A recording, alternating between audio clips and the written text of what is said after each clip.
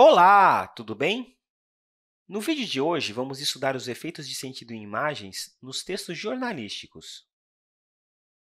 É verdade que uma imagem vale mais do que mil palavras, mas no jornalismo, as imagens servem não apenas como ilustração do texto verbal, reforçando o conteúdo de uma notícia ou reportagem. Fotos coloridas, em preto e branco, espontâneas ou produzidas, uma imagem bem escolhida transmite ao leitor mais do que uma informação. Transmite sensações.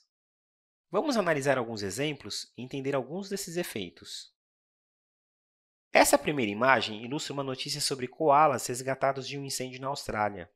O texto afirmava que quatro koalas adultos e um filhote já estavam recuperados dos ferimentos e seriam levados de volta à natureza, para um parque nacional, cuja vegetação também havia sido recuperada após o incêndio. No final da notícia, podemos ler a previsão é que outros koalas que estão sob tratamento no zoológico também retornem para a natureza em breve. Agora vamos observar atentamente a imagem. A imagem sugere movimento? Não. Ela é estática, correto?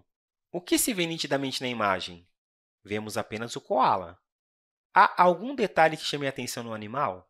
Aparentemente está no colo de alguém. Você percebeu? Isso sugere o quê? Sugere a ideia de resgate. Veja agora como o fundo desfocado tem a predominância da cor verde. Mesmo que essa fotografia não tenha sido feita no local e na situação que foram relatadas na notícia, foi uma forma de criar a sensação de que o koala voltará à natureza.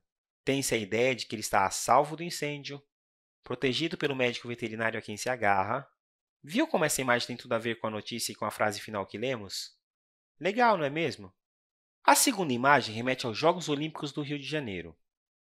O Kuwait país no Oriente Médio, havia sido punido pelo Comitê Olímpico Internacional. Assim, seus atletas não poderiam disputar a Olimpíada defendendo a bandeira e as cores do país. Ferraide Aldeani ganhou a medalha de ouro em uma prova de tiro e tornou-se o primeiro esportista a conseguir uma medalha de ouro sem representar nenhum país. Entrevistado após a conquista, ele declarou: Esta medalha é para meu país para as pessoas que não querem que participemos da Olimpíada. Estou mostrando a elas que estamos aqui e que temos uma medalha. Agora note como o atleta exibiu orgulhoso o prêmio de sua conquista, a medalha de ouro. Na cerimônia, os medalhistas se apresentam com um agasalho com nome e cores de seus países. Na imagem, captada de forma espontânea, Ferraide está em destaque com um agasalho todo preto para caracterizar que não defende as cores do Kuwait, as cores da fotografia são importantes para destacar o amarelo da medalha de ouro e seu agasalho, que não remete a país algum. O fundo, embora desfocado, permite identificarmos os anéis olímpicos, contextualizando o momento da vitória do atleta. A imagem parece confirmar o que o atleta medalha de ouro afirmou. Você entendeu como a imagem transmite mais do que informação? Agora nós vamos a uma sequência de imagens extraídas de uma reportagem feita na Amazônia sobre a Guerra Invisível travada entre quem vive na região, sobrevive de recursos naturais e luta pela preservação da floresta, e quem quer destruí-la, seja para usar as áreas para agricultura ou pecuária, seja para extração de madeira e outros recursos. Nessa primeira imagem, em cores bem vivas, observamos essa guerra. Veja o contraste. De um lado e ao fundo, a floresta, densa e preservada, e do outro lado, a pastagem da fazenda, com alguns traços da floresta, mostrando o avanço humano sobre a natureza. Veja agora a foto tirada ao nascer do sol, que mostra uma névoa formada pelo vapor de água e sugere que a floresta respira, mesmo com uma estrada cortando seu espaço. Essa imagem reforça a ideia de resistência da natureza diante da violência imposta pelo homem. E agora observe essa imagem, as cores, que antes eram verdes e vibrantes representando as matas, deram lugar a tons escuros, sobretudo cinza. Assim, o fotógrafo quer criar sensações negativas quanto à vida e à natureza, com o intuito de sensibilizar o leitor. Desmatamento e incêndio representados por árvores, poucas e sem a vegetação verde densa característica da floresta, mas secas e queimadas, simbolizam a perda de vidas numa guerra. Esta foto agora é bastante impactante. No contexto da reportagem citada, ela lhe causa alguma sensação?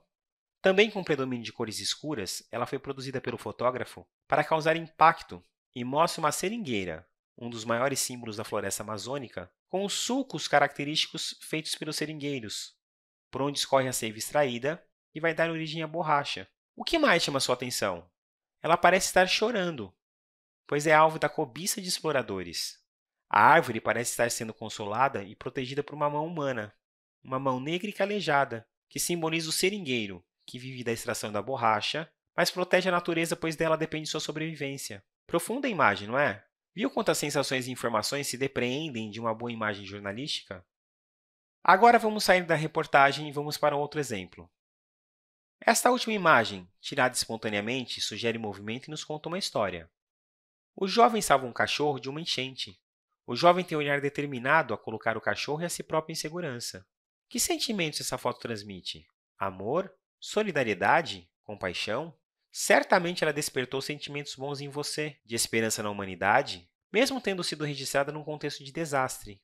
Então, vamos resumir a aula de hoje. As imagens usadas nos textos jornalísticos têm papel muito importante na compreensão das notícias e reportagens. O olhar atento e sensível do fotógrafo se vale de imagens que registram movimento e estaticidade, cores e enfoques, e elas são usadas para despertar no leitor complementos visuais dos textos verbais, sentimentos diversos e até mesmo contar uma história. Boas matérias jornalísticas utilizam imagens escolhidas intencionalmente. Analise-as quando estiver lendo jornais e revistas, sejam elas impressas ou eletrônicas. Bons estudos e até a próxima aula! Tchau!